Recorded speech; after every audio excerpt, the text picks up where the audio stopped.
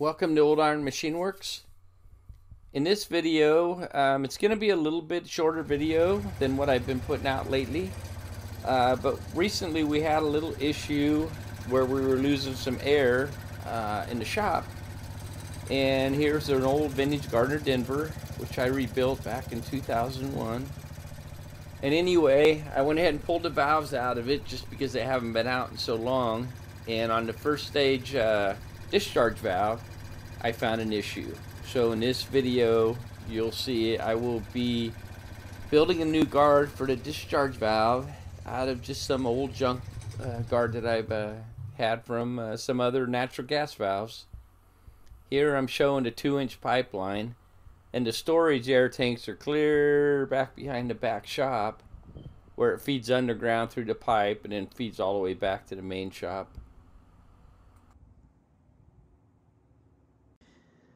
I lost a valve in our shop air compressor.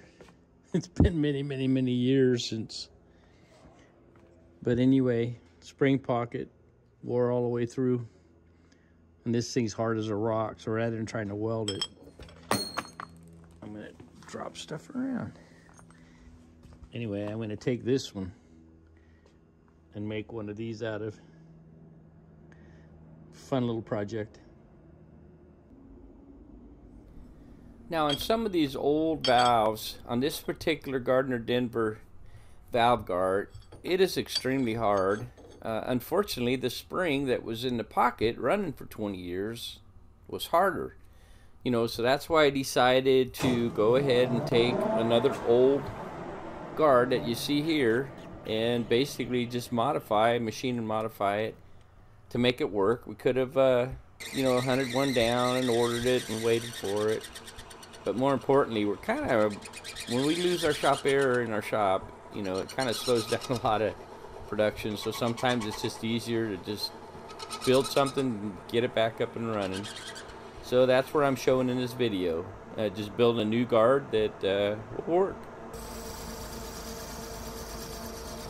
Now it'll make more sense later in the video, but here I'm just making a custom guide ring that will center the inside valve ring um, in the valve.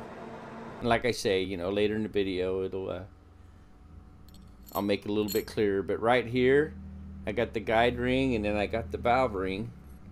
And now I'm going to have to go and machine on that center guide ring so it has some passages for air to flow on both sides of the valve ring.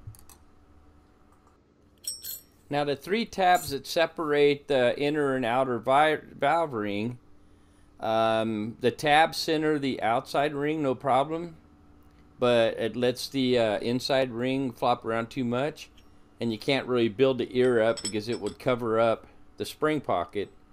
That's why I decided to make the guide ring in the center. And then here I'm just at the mill opening up some uh, you know, some passages so the air can uh, pass both on the inside and outside of the valve ring.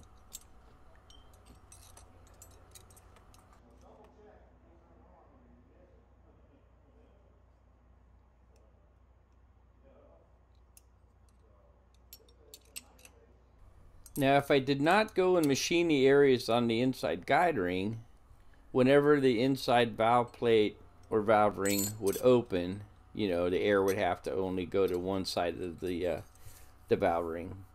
And then here's the the ports where the air flows through, and the valve ring just basically covers up those ports, and then just uh, the pressure or vacuum just pushes the plate right off of the seat.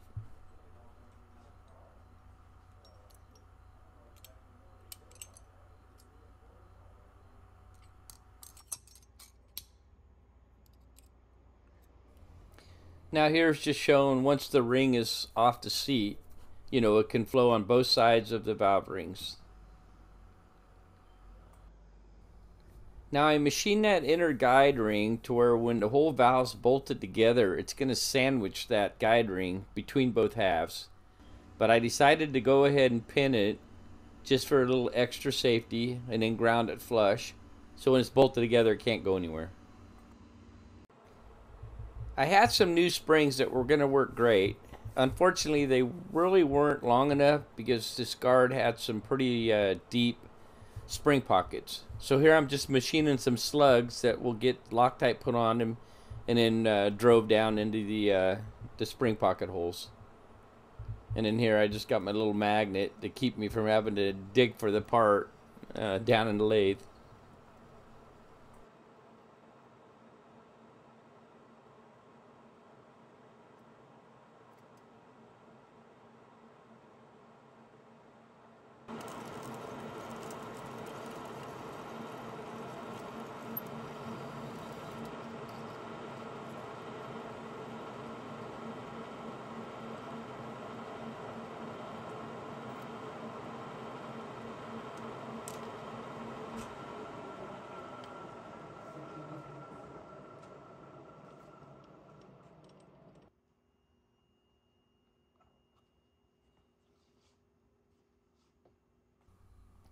I should probably point out on the original guard, if it wasn't so hard, I probably would have just welded it up and remachined the pocket. Uh, but a lot of times when they get super hard, you know, welding it up, you take a chance of a little weld breaking off or something. And I did not want anything to ever break off and get into the cylinder. That would ruin your day. So every modification I'm doing on this valve um, is pretty much in a situation where it's pretty hard to have anything ever come off and get into the cylinder. And these little plugs are 3 eighths uh, thick. So the only way that any of that could ever come apart is if the main bolt broke or came loose.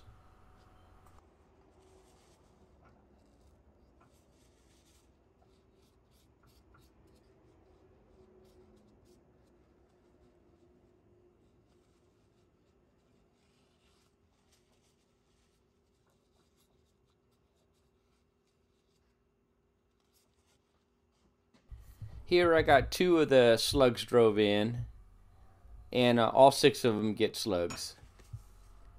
And in this clip, uh, it's pretty much ready to go. All the six slugs are in, um, all six springs, ready to assemble.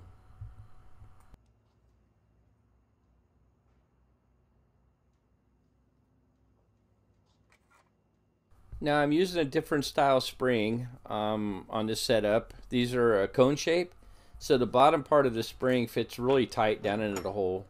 Um, but basically when the spring is working up and down, it's not really rubbing the side of the guard.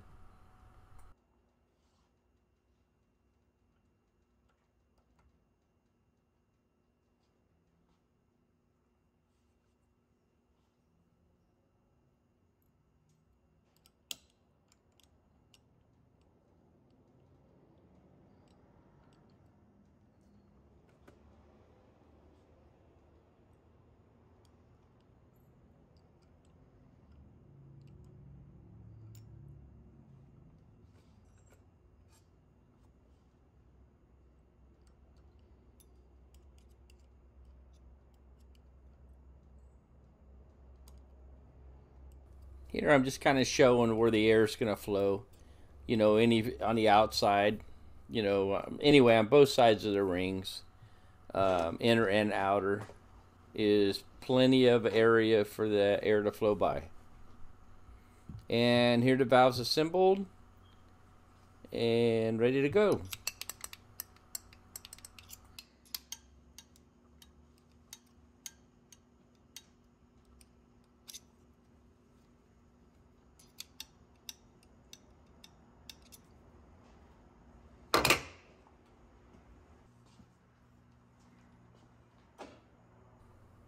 Okay, here I'm showing the valve cage, or some people may call it a chair.